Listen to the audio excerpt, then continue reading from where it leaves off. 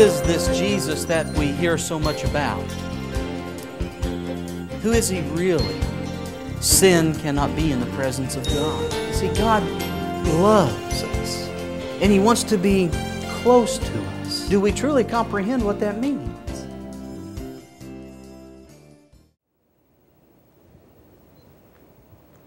Hello, friends. Good to be with you again. I'm Pastor Joe Laswell. Welcome to the Bible Only. We're going to be taking a look at something that uh, uh, the Bible says about uh, deception. In fact, uh, the devil, you see, he's going about as a roaring lion that Peter talks about, uh, looking to whom he may devour, and he's bringing up all these deceptions. And, and I want to uh, bring one to your attention that is, I believe, is very important one, and that, that is the independence deception. And it actually started in heaven long ago. But before we uh, begin our study, uh, we want to ask the Lord to, uh, to bless us with the Holy Spirit. So I invite you to bow your heads and your heart with me now. Father in heaven, we thank you so much for this opportunity to study from your holy word. Father, we pray for the Holy Spirit to be very present with us. We ask that the Holy Spirit be poured out into our hearts and our minds and lead us into the truth as we, we study uh, your holy writings. We pray that the Spirit will give us discernment that we may see the deceptions of the devil and that we may overcome them by grace. We thank you for Jesus, for his life of righteousness, his death at Calvary for our sins. We ask forgiveness for our sins, Lord, and that we may remain in the Lamb's book of life. We love you and we thank you for answering this prayer in Jesus' name. Amen. Well, friends, James makes a, a statement that I've been pondering for some time. It is a familiar statement, really, to many. Uh, and because of its familiarity, um, I think we may not consider it uh, as deeply, possibly, as we probably should.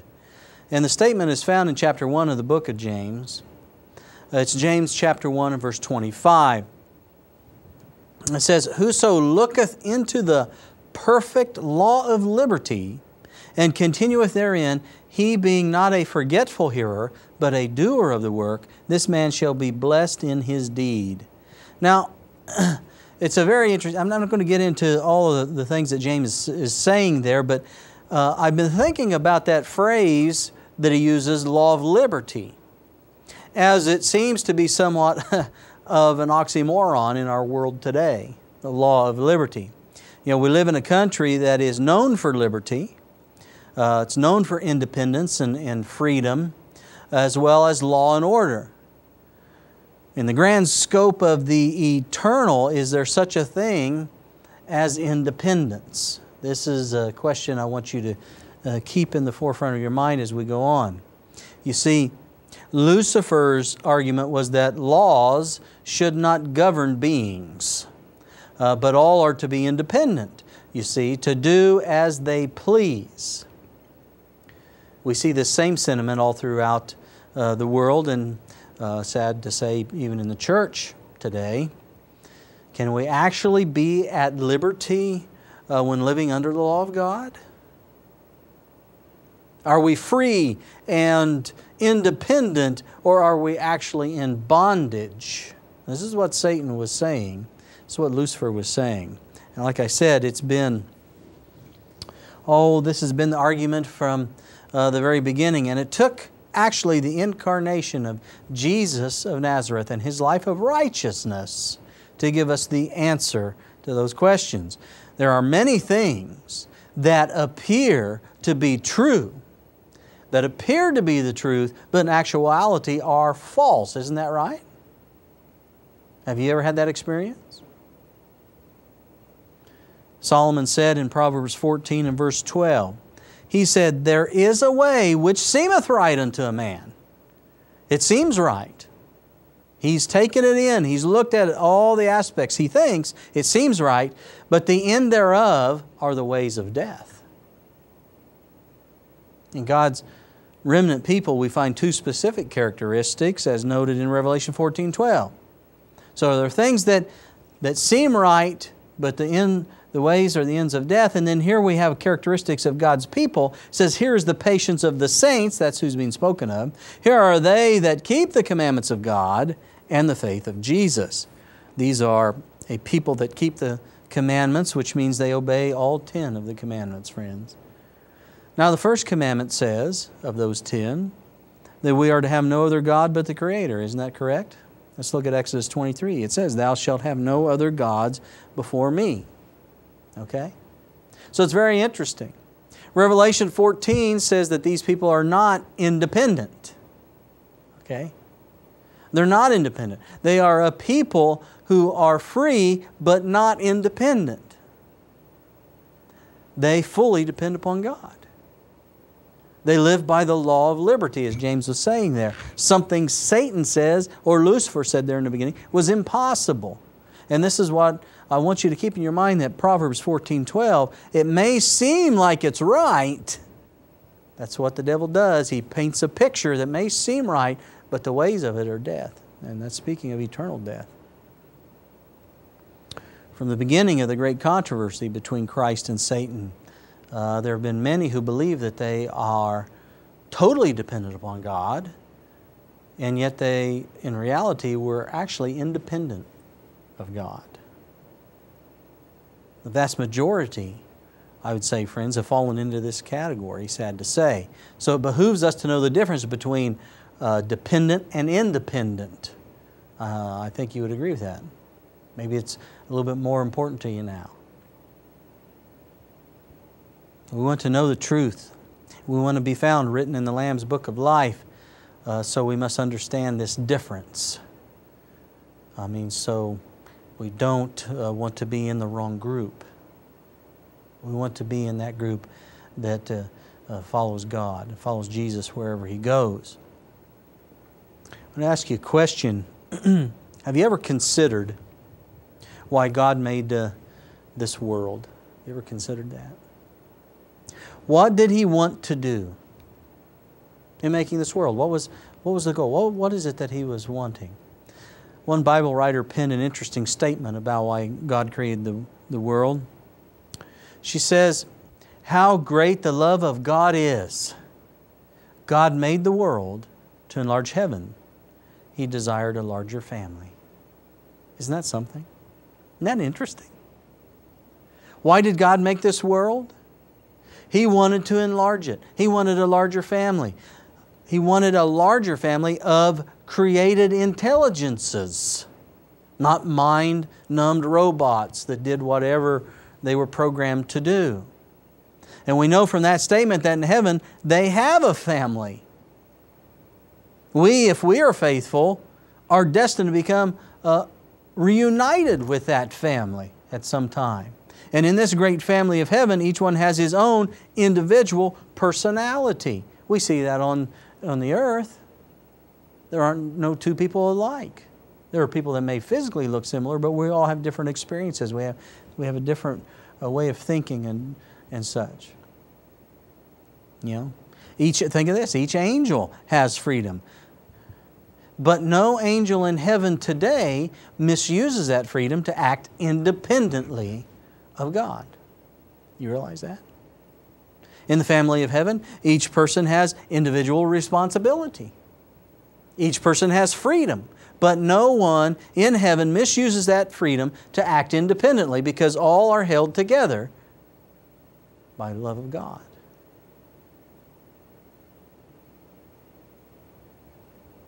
And more specifically, not only love for God, but love toward each other. And, and humility is the key. They're held together by cords of humility toward self and love toward one another. That's God's government. Look at Matthew chapter 11, verses 28 and 29.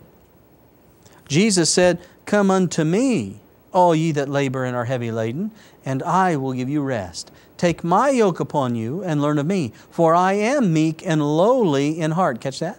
Meek and lowly, and ye shall find rest unto your souls. Isn't that interesting? You know, the Greek word for, for meek is praos, and it means gentle or mild. You know, tame animals were said to be praos. They were submissive, they were harmless. One who is meek uh, intends nothing but good towards others. Now, the Greek word for lowly is tapeinos, which means humble, essentially. A uh, person humble in his own estimation assigns himself a, a low position in comparison with others, doesn't he? He esteems others better than himself. And you know, that's the way Jesus is. In fact, if you had to boil down the character trait of God, that would be what it is a person who loves and esteems others better than himself. Jesus isn't proud, is he? He, he is gentle, and when I say proud, he isn't puffed up. He's gentle, he's humble. There is perfect harmony in heaven, with each one maintaining his own identity, uniqueness, and function, but with nobody acting independently. You know, when you think about it, are you not aware of the fact that even God does not act independently, nor did any of His original creation? I'll give you a few quick examples of what I mean. I mean, we, we couldn't create the world, could we? Only God could do that. He created the world. But when He created Adam, what did God do? He left it up to Adam to give the names to all the animals that God had created. He wanted Adam to, to cooperate with him in his work of creation. And not only that, but God created the minimum uh, a number of people to populate the earth. And then He told them to be fruitful and multiply and subdue the earth that they were to populate. Now, God wouldn't have had to do that, would He? God could have created several million uh, uh, perfect people. But He didn't do it that way. I suppose all of us who are uh, parents can look back and think of uh, many failures that, uh, uh, that we have made, but in spite of that, God has never taken that responsibility away from the human family. No. As it was on the earth when, when Adam and Eve were created, so it was in heaven with the angels. God did not create a hierarchy. He did not, it isn't a dictatorship in heaven. He created a family. He created a family. In Revelation 12, verse 7, we're told that there was a war in the family there in heaven. It says, And there was war in heaven. Michael and his angels, that's Jesus and the righteous angels, fought against the dragon, and the dragon fought in his angels. That's uh, Lucifer and those who uh, followed Lucifer's uh, ideas about the government of God. And if you think about it, friends, in the government of God, there uh, could never have been a war in heaven if uh, God's government was a dictatorship. And even if it was a hierarchy, it would have never happened. Um, with a, a, absolute totalitarian government, that wouldn't have happened. Uh, because God uh, is all powerful and would have immediately destroyed all evil. That's what would have happened. The reason war happened was because the angels had total freedom of choice. When war broke out in heaven, God could simply have banished Satan from heaven on the spot, couldn't he? Sure, he could have. And he would have, he would have had to go. God's uh, the creator, more powerful. But God didn't do that. What did God do? God allowed the angels, as far as possible, to decide the issue. Every angel in heaven had to choose. What side are they going to be on? And then, not only that, they had to be willing to fight for that choice. They'd be willing to fight for the choice that they made.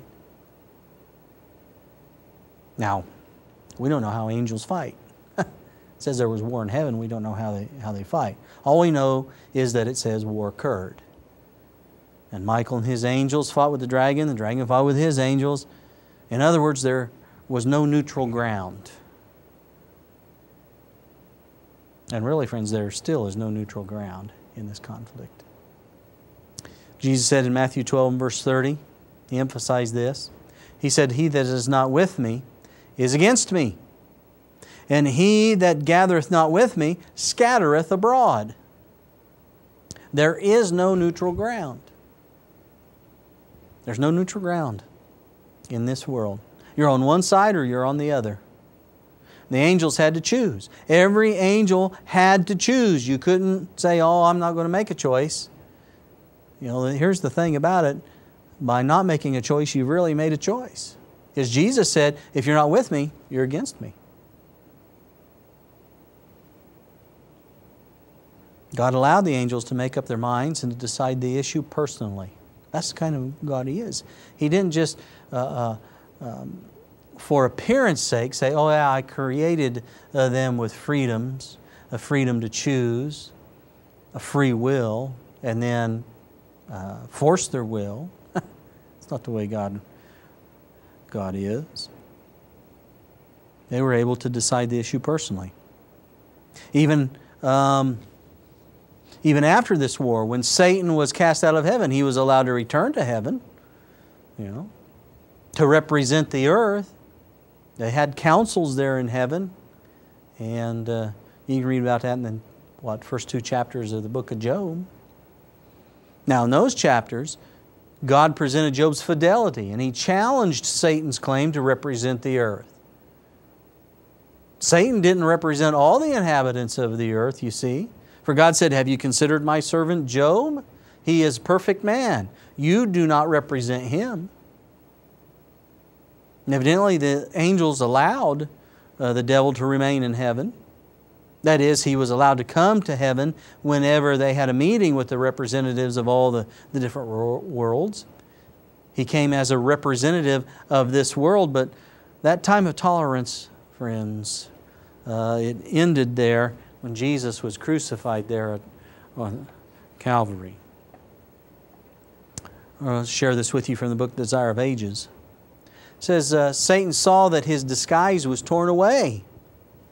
His administration was laid open before the unfallen angels and before the heavenly universe. He had revealed himself as a murderer. By shedding the blood of the Son of God, he had uprooted himself from the sympathies of the heavenly beings Henceforth, his work was restricted. Catch that? It was restricted.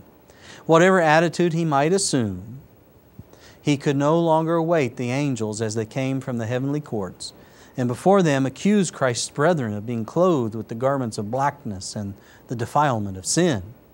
The last link of sympathy between Satan and the heavenly world was broken.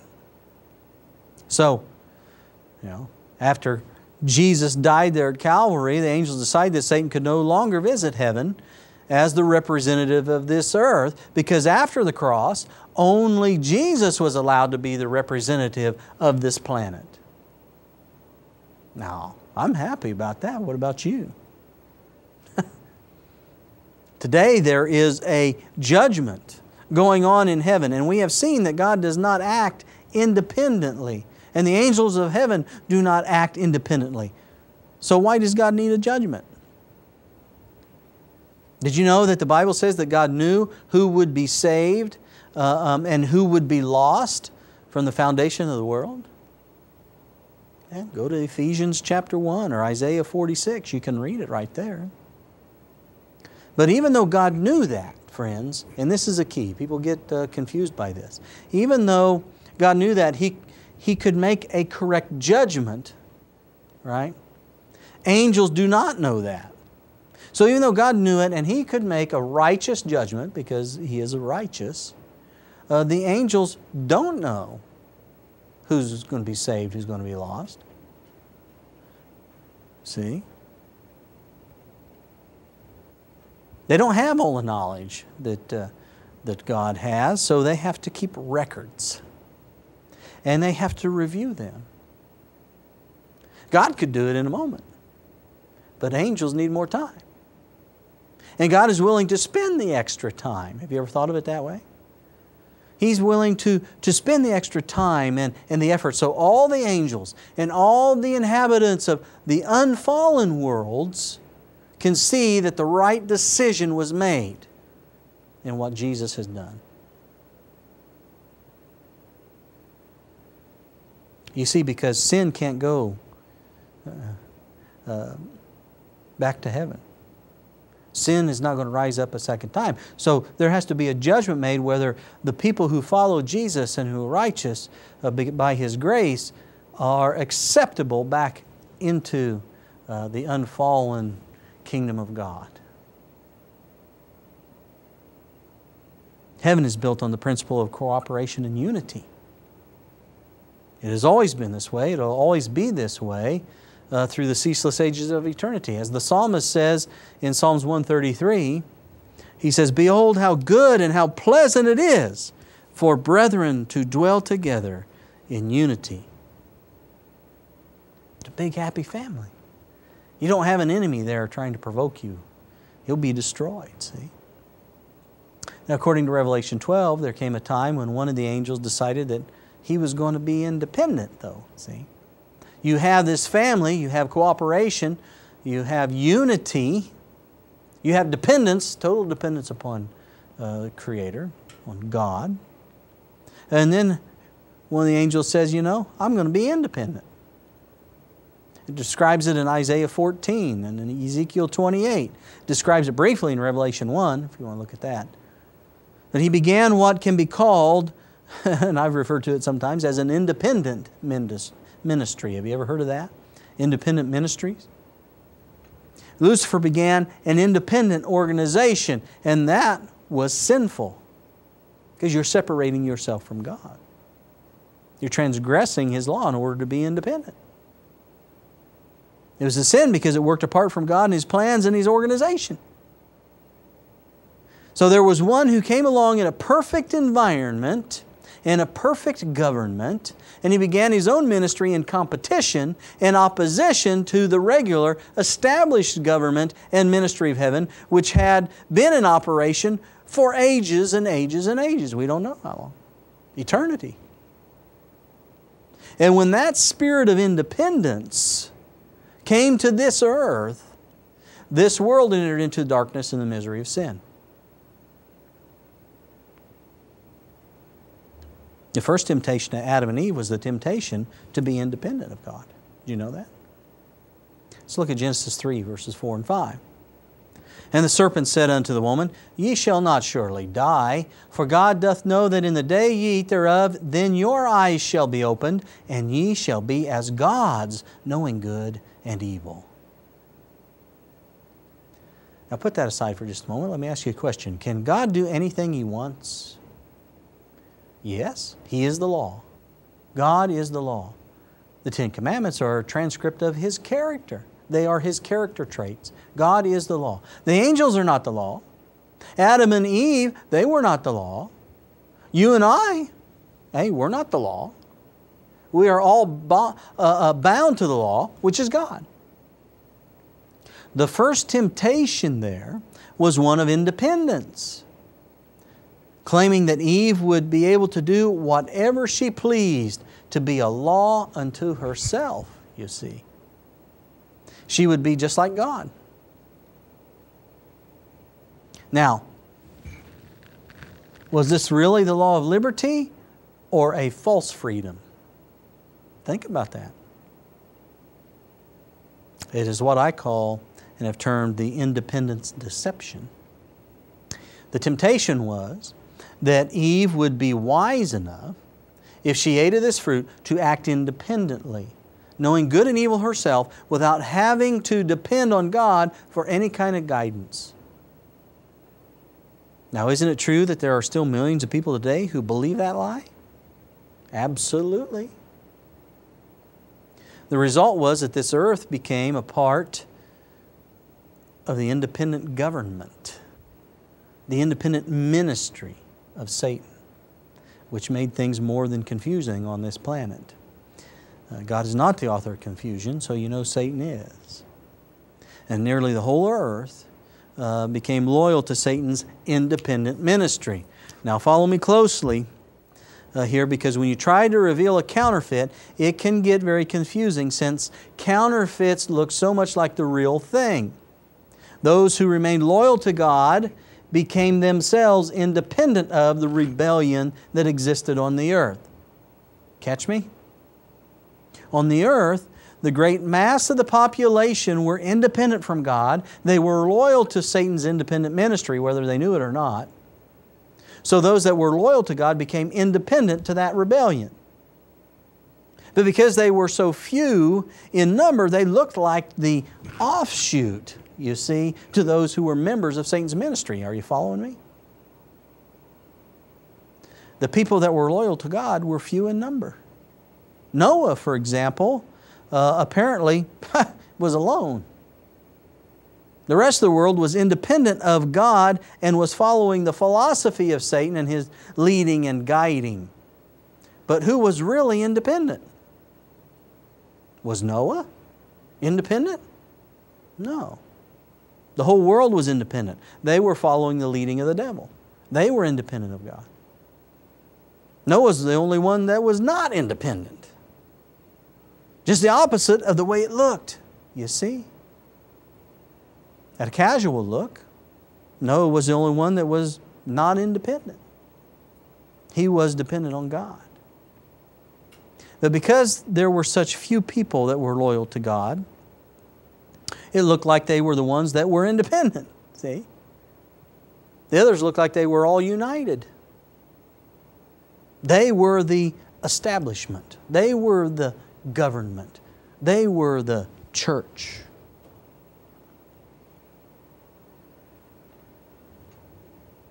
And you can see this same kind of perception in the misunderstood belief uh, concerning uh, the separation of the wheat and the tares, the parable that Jesus gave. Many have been taught that the wheat stays right where it is, right there in the church, you know, in the field. And the tares are removed out of the field, out of the church. The field representing the world. You've got to be very careful, friends. But notice what Jesus says in Matthew 13 30. And sometime we'll get into a study on this, a little bit more deeper study. Jesus said, Let both grow together until the harvest. And in the time of harvest, and that's important, the time of harvest, I will say to the reapers, Gather ye together first the wheat? No. He says, Gather ye first together first the tares, and bind them in bundles to burn them. And they leave them right where they are. And then it says, But gather the wheat into my barn. So, are the tares gathered into the barn, hence out of the field? No. The tares are bundled where they are, and the wheat is gathered out of the field and into the barn. Many are thinking that the field is the actual church, and that's the deception. And as long as they stay in the field, hey, they're going to be safe. We're going to be safe. But the field will someday be burned friends. We want to be gathered into the barn of God, amen? That's what we want to, we want to, uh, to be there with God, with Jesus, in the family of God. We see that it has been that way over and over again. That the appearance, I'm hoping you're catching this, that the appearance was the exact opposite of the reality. That's why it's called a deception. Now, God is in the business in this sinful world of training people and, and getting them ready for heaven. How's God going to get you ready for heaven? How's, he, how's God going to get me ready for heaven? How do the heavenly beings operate in heaven? Well, the Bible describes a society where they, they love each other and they have humble cooperation with each other, like I mentioned before. Unity, cooperation, love, esteeming others better than themselves. There's no competition or independence there. Citizens are free, but they're not independent. You see? God's plan has always been for humble cooperation. That's why Jesus selected the disciples that He selected. He had to select disciples that were teachable, that were humble at heart. You know, we can only see the outside, but God can see the heart, read the heart. And God is trying to teach each one of us the character traits of humility and submission. You know, it doesn't seem easy for human beings to learn the character traits of humility and submission. But we all have to learn them. We're going to have to learn them. We cannot be saved because this is the character of heaven. This is what it's like in heaven. Every experience of, of life is to instill within us these precious traits of character so we can fit into the society that Satan forfeited because of pride and independence. You see, pride is the opposite of humility, and independence is the opposite of submission. Understand? The Bible has a lot to say about submission, but we, we don't like to read it. But I'd encourage you to read it anyway. You can start with Romans 13 and uh, study that sometime. But none of us can go to heaven if we have a proud, independent spirit. I mean, we're never, we will never be admitted. They'll look at the records of our life and they'll say well, it's not safe for them to be a citizen of heaven, to be a part of our family. We have to learn the lessons of submission, friends. Submission given in the Bible, submission to leaders in the church, righteous leaders now. Submission to leaders in the family, submission to civil government, su- submission to employers. Uh, all of that is taught in the scriptures. The 144,000, that, that group of people that is spoken of in Revelation, are people that have learned the lesson of submission. In Revelation 14 verse 4 it says, These are they which follow the Lamb whithersoever he goeth. That's part of what it says. But I want you to notice these followers. They follow the Lamb wherever he goes. Wherever he goes. They are in submission uh, to his authority. Period. End of story. They're in submission to His authority. And they will follow Him. They don't just submit until they, they go so far and, and then they, you know, they're not going to go any further. No, they actually completely submit themselves to Him. And this is what Jesus brought to us over and over and over. We have to be born again. We have to completely give ourselves to Him we have to become dependent upon Him in order to be free. Isn't that what Jesus said? The truth shall make you free, not independent, it'll make you free. But that truth is Jesus, the Bible describes. He is the truth, life, and way. And uh, by giving ourselves to Him, we become dependent upon Him, but we're free submission to Him. But I've seen people, friends, who, who submit and they, but they only submit for so, you know, so far. I've seen it happen with tithing, for example, or, or the truth of the Sabbath, the state of the dead, prophecy, dress, health reform, uh, all different kinds of things that the Bible teaches. Different people will go to a certain point and then it cuts so hard across their preconceived belief or their, their thinking or their practices, and they say, Nope, can't go any further. I'm not going to submit to that. The problem is they become independent of God, but to the world they look like they are, uh, they are the norm, see? That they are free, that they have freedom and liberty. But the 144,000 that we're reading about here in Revelation 14 are a people that follow the Lord uh, wherever He leads. They don't say that they're just going to go so far. They follow wherever He goes, wherever He teaches, wherever He points. Do you want to be a person like that? If you do, then you have to learn the lesson of submission. The 144,000 are the people that follow the Lamb wherever He goes. They are free, but they're not independent. You see?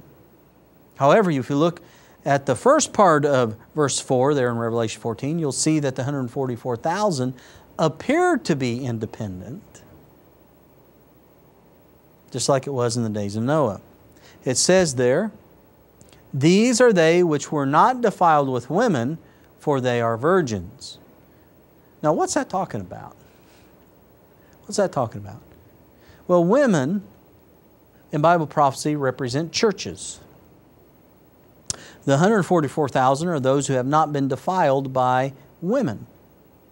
They have not been defiled with Babylon's, more specifically, who is the great harlot uh, defiling the whole world, as you can read in Revelation 14, chapters 14, 17, 18, etc. These people are not defiled with Babylon. They are not defiled with false religion.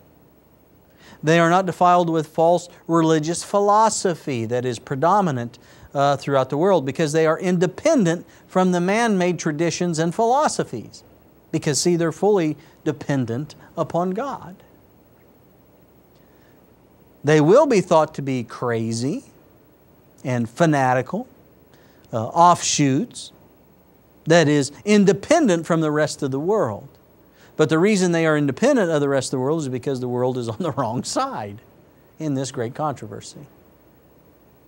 They are loyal and faithful to God, and they are in the minority. They are considered virgins because they have reached the point where they follow Jesus again.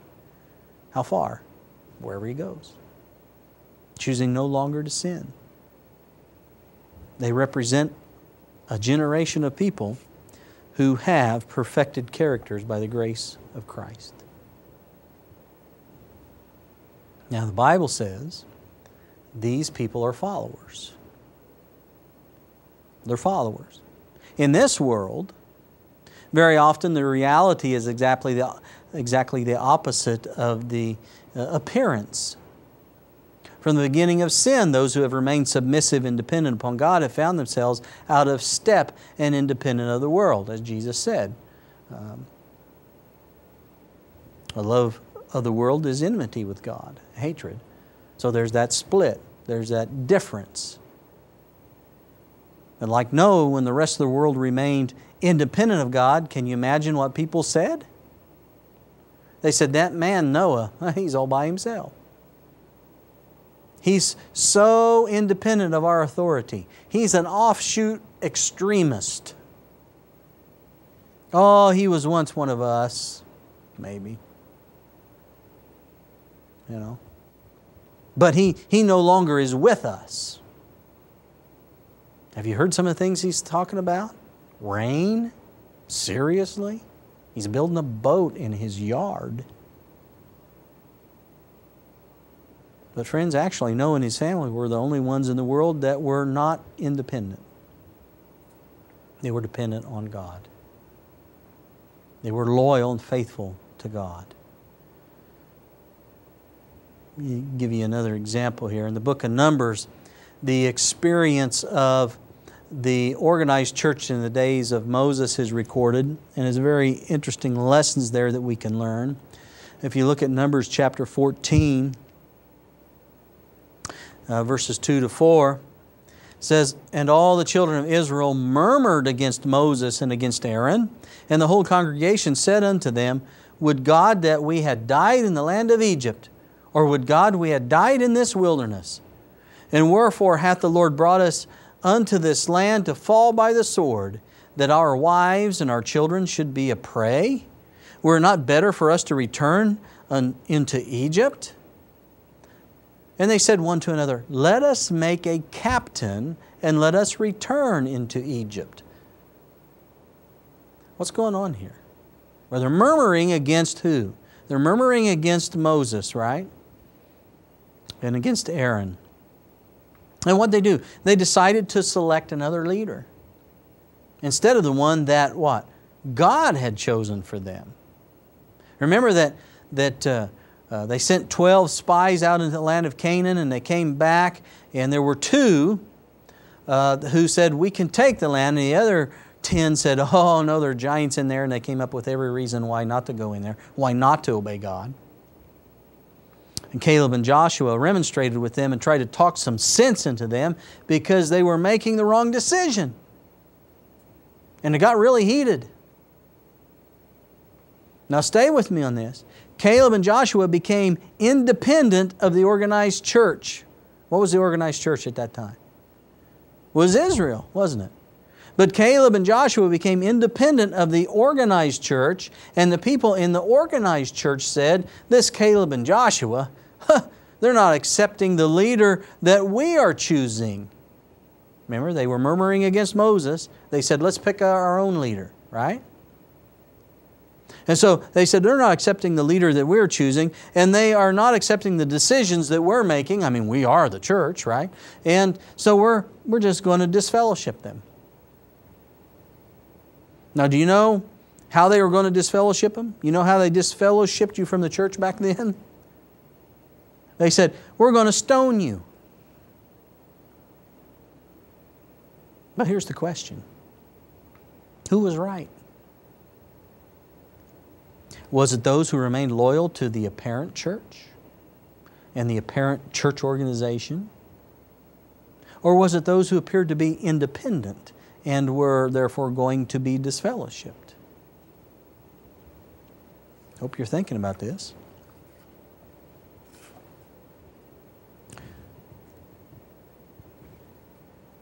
A couple chapters later, in number 16, Moses himself is accused of being independent and Aaron also. You see, they had at that time a representative form of government. A representative church government is when you have a whole bunch of churches essentially uh, joined together into what they call a sisterhood or, or a conference. And they each select delegates to meet and make decisions for the entire conference or sisterhood. And frankly, friends, that's all a conference is ever supposed to be. But the children of Israel had a, they had a representative uh, government. And they got together in this meeting with 250 of the leaders. These were leaders or representatives of the people. It says in the Bible that they were men of renown. They were people who were famous throughout Israel and famous in the congregation. Have you ever heard uh, that when the leadership gets together, and discusses matters for the church, it's, it's just like the voice of God. Have you, ever, have you ever heard that? That is what the children of Israel thought too. They had the leaders. These leaders accused Moses and Aaron of being independent from the church and taking too much upon themselves without the approval of the church. They said, God has chosen this church, and surely when the entire church, through its appointed representatives, decides on something, it is as the voice of God to the people. This is, this is what the, you know, their reasoning is and what they're saying. And they question, how can it be that Moses and Aaron, they don't submit to the authority of the church and the leaders of the church? How can Moses and Aaron justify their independent ways? Well, actually, friends, Moses and Aaron were not independent. They were the only ones that were really dependent on God, essentially. I mean, you had Caleb and Joshua. But what had happened was the whole church had become independent of God. The appearance again was deceptive. The church body had become independent. The ones who were accused of being independent were the only ones who remained loyal and true to God, the God of heaven. Well, that could never happen again, could it? The whole church was united against Moses. It says in Numbers 16, 19 that they, they all came together against Moses at the door of the tabernacle. Well, you know, obviously God would accept their decision since the whole church decided it, right? You know, there's some people today that are still like that. They're still like that. They think that if the whole church decides something, obviously it, I mean, it has to be right. I mean, obviously God is speaking, and you got to be in harmony with it. So God accepted it, and they had new leadership, right? Isn't that what happened? That's not what happened at all. God did not choose other leaders. And God did not submit to the pressure of the whole church. He said no. He said that since these people were, get that, God said that since these people were in rebellion, if these people were independent, they would die. And they did die. Friends, have you ever really thought the fact that there is no committee, no conference, no general conference, no human authority or power on earth that has the authority to change one principle of truth. Not one. The Antichrist power, that is the beast power that we read about in the prophecies, thinks that something God has said and done, they can change. But God said no. God will not change it for the devil. He would not change it for Cain. He would not change it for Korah, Dathan, and Abiram here in Numbers 16. He would not change it for Judas. He's not going to change it for us. God is righteous. Malachi says He does not change. God is seeking, friends, for cooperation uh, of His fellow workers on earth. But He has not abdicated His throne nor will he allow any church, any conference, any general conference, or anybody or anything to develop and assume kingly power over this heritage, which is his purchased possession, which he created. When we follow down through the Old Testament, we see this principle demonstrated over and over again. Over and over again. We could look at Elijah. We could look at David and Saul. That's a very good example. We could look at Jeremiah. We could look at Hosea. We could look at Amos. But let's go to the New Testament. Let's look at the ministry of John the Baptist. Desire of Ages, page 132, it says this of John. says, John had not recognized the authority of the Sanhedrin by seeking their sanction for his work. and he had reproved rulers and people Pharisees and Sadducees alike. Yet the people followed him eagerly. The interest in his work seemed to be continually increasing. Though he had not deferred to them, the Sanhedrin accounted that as a public teacher, he was under their jurisdiction. Isn't that interesting? A lot of parallels you can learn. The Sanhedrin was the highest earthly authority in the church. Why hadn't John sought their sanction for his work? Because the Sanhedrin had tried to assume the prerogative and authority that belonged to God alone, thus making themselves independent of God. And John the Baptist did not join in their independence by submitting to them. You follow? Look at Matthew chapter 3, verses 7 and 9. Excuse me. But when he saw many of the Pharisees, and this is speaking, John the Baptist, when he saw many of the Pharisees and Sadducees come uh, to his baptism, he said unto them, O generation of vipers, who hath warned you to flee from the wrath to come? Bring forth therefore fruits meet for repentance, and think not to say within yourselves, We have Abraham to our father. For I say unto you, that God is able of these stones to raise up children unto Abraham. Wow. you see, they thought, these leaders of Israel, they thought that because they were descendants of Abraham, that they were a part of the true church, no matter what, no matter what they did. And John said, Don't even think that.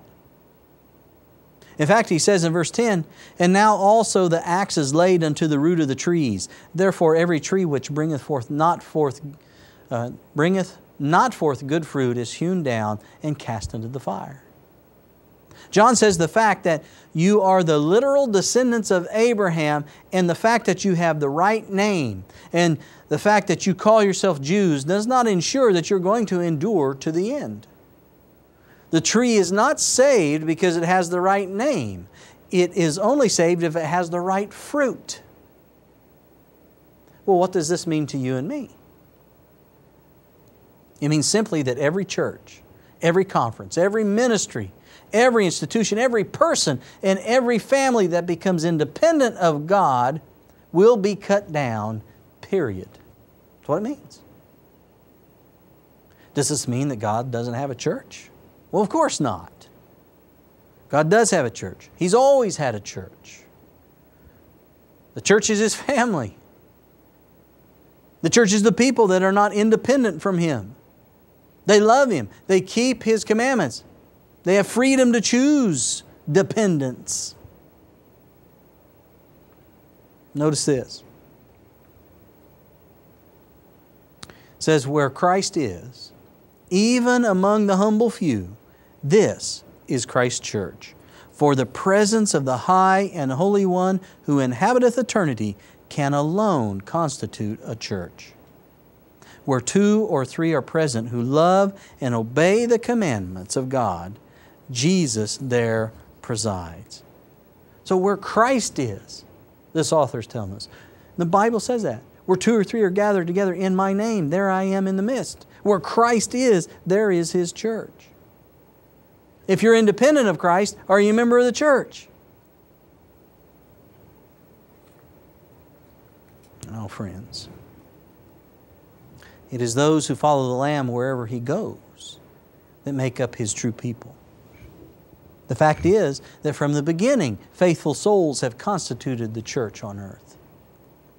Faithful souls. Are you one of those faithful souls? Do you follow Jesus wherever He goes? The Desire Ages, again, page 107, it says this Not by its name, but by its fruit is the value of a tree determined. If the fruit is worthless, the name cannot save the tree from destruction. You catch that? If the fruit is worthless, the name cannot save the tree from destruction. John declared to the Jews that their standing before God was to be decided by their character and life. Profession was worthless. If their life and character were not in harmony with God's law, they were not His people. Did you catch that, friends? Do you see it? If their life and character were not in harmony with God's law, they were not His people. It shouldn't shock us. Is Satan in harmony with God's law? No. These people who follow God, these people who live and keep His commandments, they live by the law of liberty. They were dependent upon God. You see, the problem was that the Jews thought and they were convinced that they were the grand exception to this rule. And many churches today believe that too. They're the grand exception. They believe that they were, the Jews here, they believe that they were heirs to the promise God made to Abraham just because they were related to him. Friends, is that any different with the churches today? No, friends. God does not change, and His promises are still conditional upon obedience to His law. It was true in Eden, it's still true today. Now, when John warned the church that God could work without them, as we read earlier, in their eyes, you know what? He had committed the unpardonable sin. And they tried to silence him. They didn't accept him as a member of the church because to them, the church was the structure, it was the organization, it was the buildings, and the human leadership in Jerusalem. That was the church. The system in their eyes was as secure as the throne in heaven. And this same attitude is prevalent today. I've had church leaders. I've had church leaders come to me and ask me what authority I have to preach the truth. So it's remarkable. And I ask, where did Peter and John's authority come from? I've been accused of taking an authority that isn't mine, but like those men, like any Christian, I point to Christ and I point to my fruits. They speak to my motives and calling. And friends, I'm going to tell you, beloved, I'm going to tell you, there will come a time when each child of God will be accused of the same. Remember, Jesus said, If you're not for me, you're against me.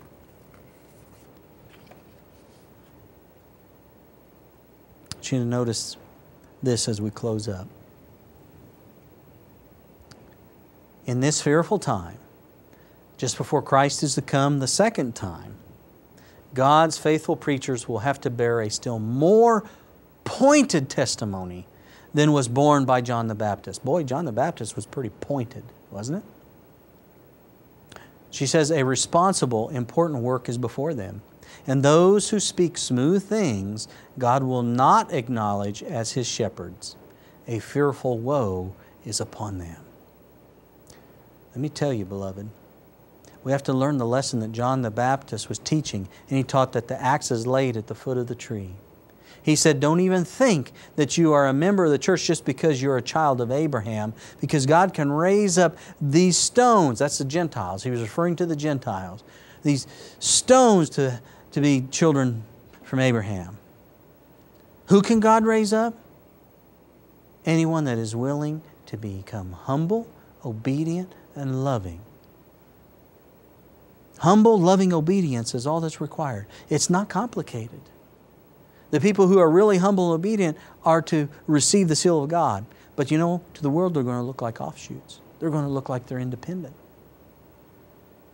And the people that are actually independent from God and His government are going to look like they are the establishment, that they are the people God is leading. But the sad thing is, they will be the ones who receive the mark of the beast. We're going to have to get this subject straight in our minds, friends.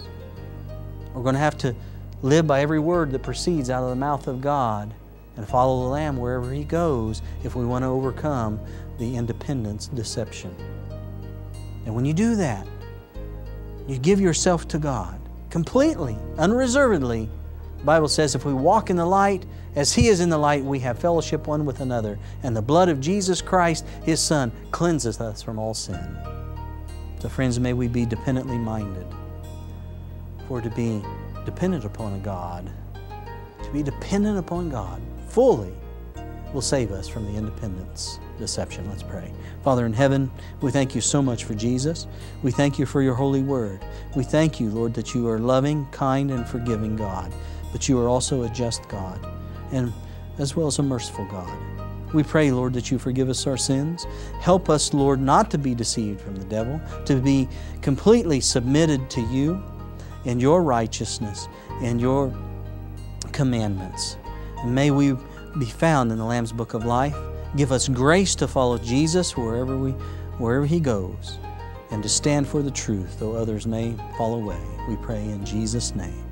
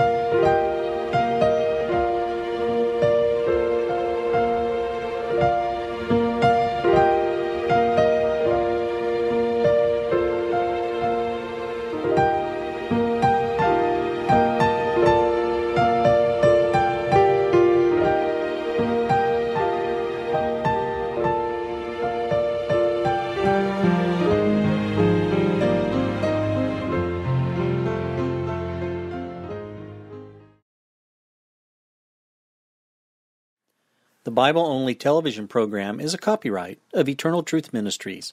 All rights are reserved.